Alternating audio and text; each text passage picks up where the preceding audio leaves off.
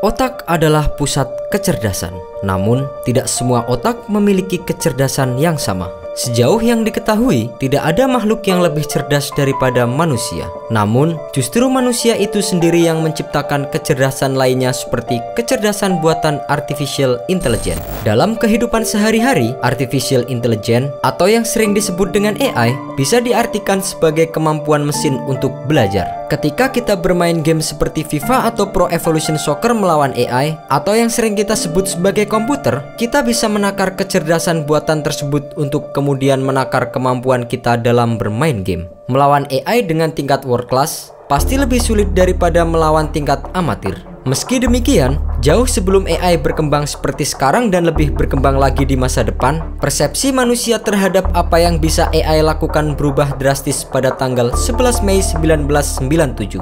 Pada hari itu, juara dunia dan Grandmaster catur Gary Kasparov berhasil ditaklukkan oleh Deep Blue. Deep Blue sendiri merupakan sebuah program permainan catur yang dikembangkan oleh IBM. Kekalahan Kasparov dari Deep Blue menjadi awal ancaman kecerdasan buatan terhadap manusia. Memang, kecerdasan AI belum terlalu menakutkan seperti super intelligence Skynet yang memusnahkan manusia di film Terminator. Namun, dalam film tersebut benar-benar mencerminkan plot klasik Terminator manusia versus mesin. Sepak bola tergolong mudah bagi manusia, namun, membayangkan pemain sepak bola seperti Lionel Messi atau Cristiano Ronaldo kalah dari robot tergolong sebuah pemikiran yang amat berani. Pada kenyataannya, tidak banyak laboratorium sains yang menciptakan robot humanoid yang sekedar bisa berjalan, berlari di atas lapangan, mengontrol dan menendang bola, berkomunikasi dan bekerja sama dengan rekan-rekan robotnya, menerima tekanan fisik dan mental dari lawannya, sampai memperlihatkan ekspresi sedih, gembira, atau kesakitan tentu lebih sulit lagi untuk diciptakan. Akan tetapi, hal-hal di atas tidak lantas menghentikan para ilmuwan untuk mengembangkan robot pesepak bola. Piala Dunia Robot bertajuk RoboCup kemudian lahir pada tahun 1997. Saat ini, kompetisi sepak bola robot sudah rutin dilakukan setiap tahun. Peserta kejuaraan sepak bola robot tersebut adalah para ilmuwan dan mahasiswa. Kondisi dan lingkungan RoboCup juga selalu berubah dan lebih menantang dari tahun ke tahun.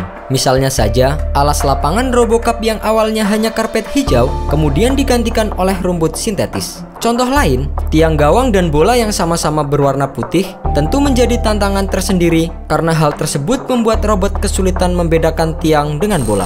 Tantangan bermain sepak bola untuk robot tentu lebih besar ketimbang bermain catur. Banyak masalah teknis yang belum terbayangkan seperti pengambilan waktu ketika robot menendang sambil berlari, bergerak di atas lapangan yang basah, stamina robot untuk bisa bertahan selama 90 menit, material robot yang digunakan untuk kontak fisik, dan masih banyak PR lainnya yang harus bisa diselesaikan. Proyek tahunan RoboCup ini sebenarnya memiliki niat yang ambisius.